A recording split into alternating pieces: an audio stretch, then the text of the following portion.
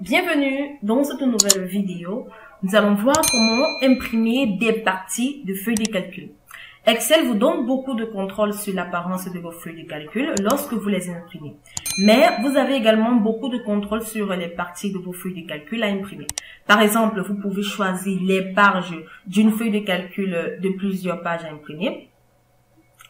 Si vous souhaitez imprimer une partie d'une feuille de calcul au lieu de la totalité de la feuille de calcul, vous pouvez définir là où les zones à imprimer et utiliser les commandes centrées sur la page de euh, l'onglet Mage, euh, sur euh, la plage Mage de l'onglet mise en page ou encore dans la boîte de dialogue mise en page pour spécifier la position de la zone sur la plage à imprimer.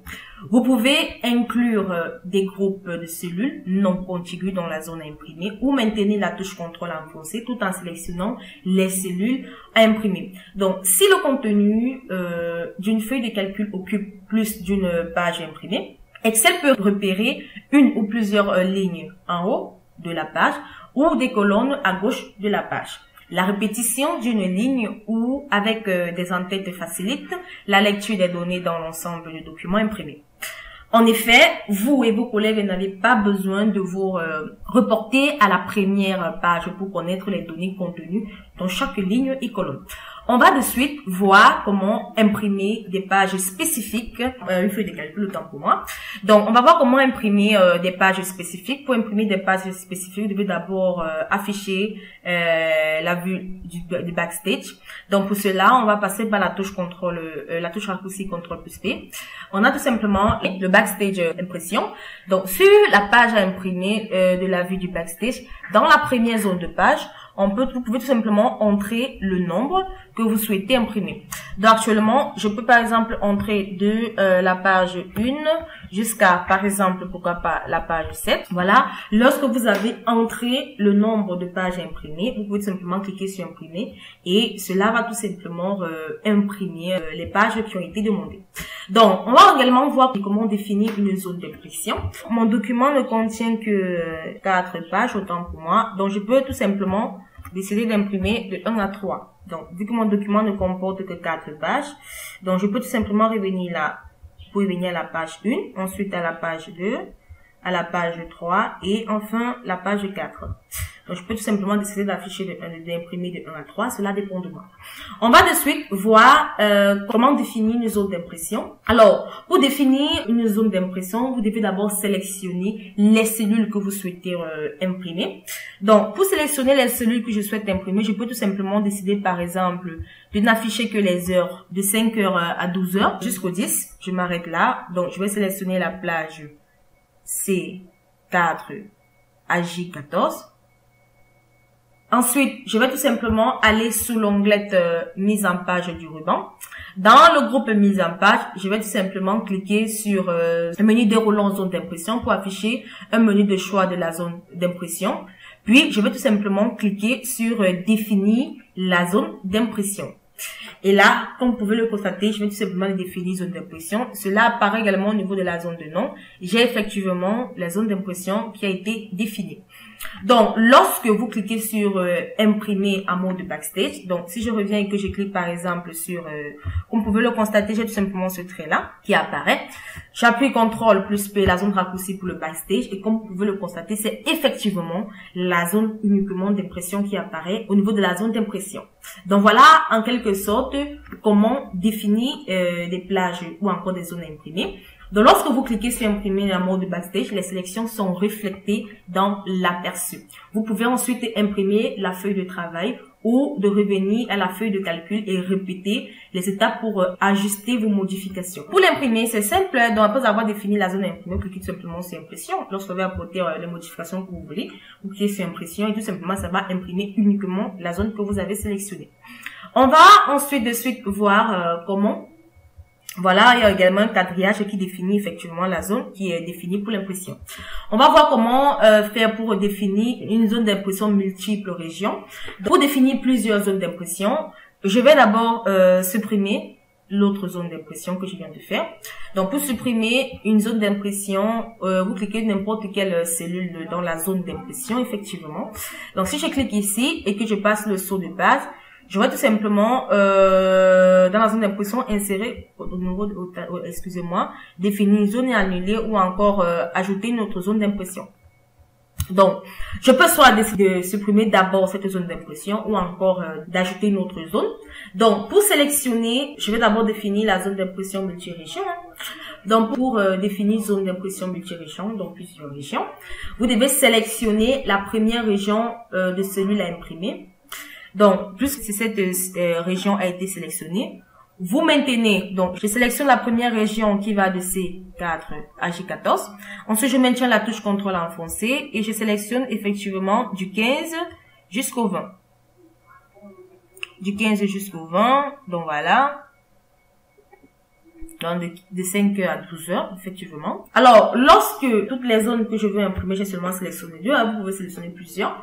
Donc, lorsque toutes les zones euh, à imprimer sont euh, sélectionnées, je vais tout simplement aller au niveau du menu zone d'impression, dans euh, l'onglet de mise en page, je clique sur zone d'impression et je sélectionne définir. Alors, les zones d'impression ont été définies. Comme vous pouvez le constater, on a des traits qui euh, démarquent effectivement ces différentes zones. Lorsque vous voulez, vous cliquez sur euh, la vue de la zone, de, la, mode backstage, CTRL plus P. Et là, vous avez uniquement les zones d'impression qui apparaissent. Donc là, j'ai euh, de 5 à 10. Donc ici, il ne s'affiche pas. Je peux tout simplement modifier la mise en page. Hein. La mise en page pour le réduire, par exemple. Je mets à 85, ok. Alors, si je reviens au niveau de la zone de backstage, j'ai tout simplement la zone, zone à imprimer que voici. Et lorsque je clique sur euh, le 2, puisque c'est 2 sur 2, je n'ai sélectionné que 3 zones, vous allez effectivement voir la, la, deuxième zone imprimée. Donc, si je sélectionne par exemple plus de, de, de, de je sélectionne d'abord la première plage, je maintiens la touche contrôle enfoncée, je sélectionne la seconde plage, ensuite euh, la troisième, aller de 25 à 30, voilà. Et je lâche. Je viens tout simplement au niveau de l'onglet de mise en page. Je clique sur euh, zone d'impression et définir. Là, si je reviens au niveau de la vue du backstage d'impression, j'aurai plutôt 1 sur 3. Comme vous pouvez le constater, dans la première zone d'impression, à impression. Ensuite, je clique sur ce bouton j'ai la deuxième et ensuite sur la troisième zone. Donc, voilà en quelque sorte comment euh, on peut définir les zones imprimées euh, dans, euh, dans les différents classeurs. Comme vous pouvez le constater, ces différentes zones ont été prédéfinies. Maintenant, pour supprimer une zone d'impression, vous cliquez sur n'importe quelle cellule dans la zone d'impression.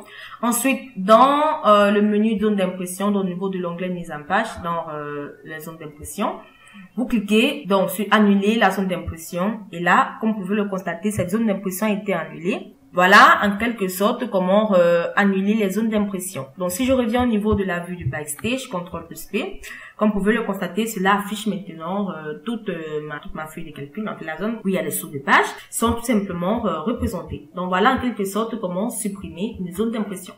Donc pour positionner un document imprimé sur la page, vous, vous allez au niveau de l'onglet mise en page du ruban, cliquez sur le lanceur de la boîte de dialogue, Ensuite, dans la boîte de dialogue mise en page, vous cliquez sur l'onglet Match.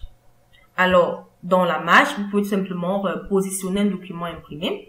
Donc, vous pouvez maintenant cocher sur euh, la case centrée sur la page horizontalement ou encore centrée sur verticalement. Ça dépend de vous. Vous pouvez cocher sur ces deux caches ou, sur une seule ou encore sur aucun d'entre eux. Donc, lorsque vous cliquez sur les deux, comme vous pouvez le constater, l'aperçu reflète tout simplement euh, au niveau, à ce niveau, vous pouvez tout simplement voir le centrage de document. Donc, lorsque vous cliquez sur imprimer en mode backstage, je clique sur OK. Donc, si je clique sur CTRL P et que je vais imprimer, comme vous pouvez le constater, les marches ont bien été définies horizontalement et verticalement.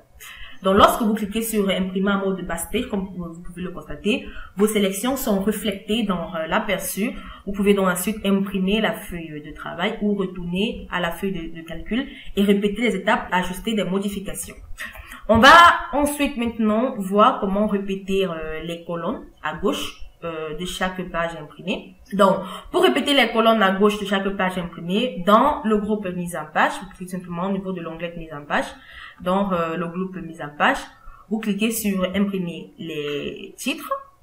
Donc, lorsque vous cliquez sur imprimer les titres, dans la boîte de dialogue de mise en page, en regard du côté droit de euh, la zone colonne à répéter, on a les colonnes à répéter, vous cliquez sur le bouton réduit, vous pouvez simplement cliquer sur ce bouton réduit, voilà, sélectionnez les colonnes à répéter. Donc, après avoir cliqué sur ce, bouton réduit, vous sélectionnez les en-têtes de colonnes que vous souhaitez répéter. Donc ici, je peux par exemple sélectionner uniquement euh, de 5 heures jusqu'à 7 heures. Ensuite, vous cliquez sur euh, le bouton d'expansion pour revenir à la boîte de dialogue mise en page. Ensuite, vous cliquez sur OK. Et là, lorsque euh, vous cliquez sur imprimer CTRL P en mode de backstage, comme vous pouvez le constater, on a de 5 heures à 7 heures. Alors, lorsque vous cliquez sur imprimer en mode de backstage, euh, vos sélections sont reflétées dans l'aperçu, comme vous pouvez euh, le constater. Donc, vous pouvez ensuite cliquer sur imprimer la feuille de calcul ou revenir à la feuille de calcul et répéter les étapes pour ajuster vos modifications. Donc, on va maintenant voir comment répéter les lignes en haut de chaque page imprimée. Donc, vous cliquez dans le groupe mise en page, dans l'onglet mise en page, vous cliquez sur imprimer les titres. Ensuite, dans l'onglet mise en page, vous sélectionnez maintenant ligne à répéter en haut. Donc, on va sélectionner les lignes à répéter. On va sélectionner par exemple euh, les lignes 1 jusqu'à 5. Ensuite, on va tout simplement cliquer euh, sur euh, l'expansion pour y à la boîte de dialogue et ensuite sur OK. Donc, lorsque vous cliquez sur imprimer en mode backstage, donc, lorsque vous cliquez sur imprimer en mode backstage, vos sélections sont reflétées dans l'aperçu, donc vous pouvez, euh, si clique là, vous pouvez le constater. Donc, vous pouvez donc euh, ensuite imprimer la feuille de, de, calcul ou revenir tout simplement. Vous pouvez imprimer la feuille de calcul ou revenir ensuite euh, sur la feuille de calcul et répéter les étapes pour ajuster vos modifications. Donc, voilà en quelque sorte comment répéter des lignes haut de chaque page à imprimer ou répéter des colonnes à gauche de chaque page à imprimer. Donc voilà, euh, on a répété les lignes en haut et les colonnes à gauche. J'espère donc que vous avez euh, aimé la vidéo. Nous allons nous retrouver très prochainement pour une nouvelle vidéo.